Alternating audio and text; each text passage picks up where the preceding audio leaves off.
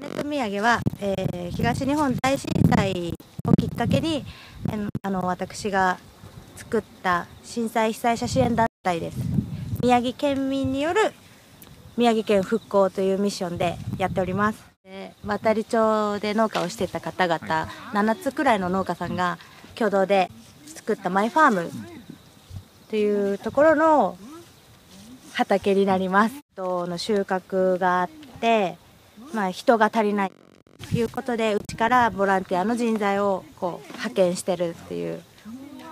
お手伝いをしてます。トマトはあの花咲いたら花咲いたら一緒にでっからね、あのいちごとかね、うんうん、そういうもんだらばこうじゅじゅんぐりの子出てくるんですよね。うんうんうん、これが一斉に花咲くもんだから、これはなかなか世話しないですよ。あ大変だね。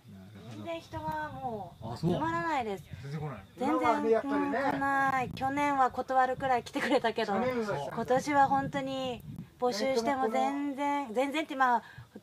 本当に来ない。うんただ私たちこう、私も、まあ農業関係ばりじゃなくこう消防関係でまずのほどいつも一緒に行動してるんですが。はいこのボランティアさんってありがたいね。全くねよくこんなにしたとね。してどこさ行ってもさ一生懸命あの夏の暑い時にねこのハウス向こうの方のハウスなんか栽培できるとか泥をかじ上げてね、投げていただいてまず本当によく宮城県の人はほぎ働くべきかと思って他からお手伝いもらったね他で災害やった場合は宮城県もこういくのかなと思って、でもやっぱそう他のところから来たボランティアさんがすごく一生懸命やってくれるからって言って頑張り始める宮城の人も多い、多い、うん、増えました。そのボランティアさんのしかさってね、まあ俺たちもこう安閑としてやねというような気持ちは納豆もねこの辺で、えー、宮城県に住む皆さん、はい、え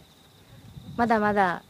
あの人手が必要なのでぜひ何かしたいなと思ってたけどなかなかできなかった人など、あのボランティア募集してますので